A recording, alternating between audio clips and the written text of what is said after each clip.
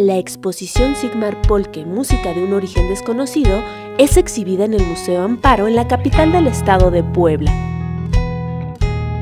La muestra está conformada por 40 guaches producidos en 1996 por el artista.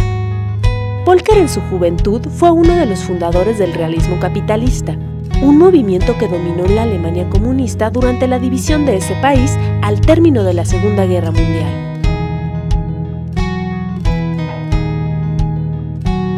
Es una invitación um, de conectarse con el cotidiano, lo que encontramos en, las obras, eh, confrontando, confrontado con, eh, títulos eh, muy irónicos títulos como consejos, lo que recibimos o leemos cada día.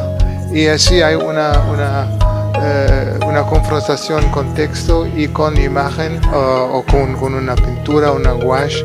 Creo que el público mexicano va a disfrutar esta forma de, de, ironía, lo que presenta o está presentado en la obra de Sigma Polke.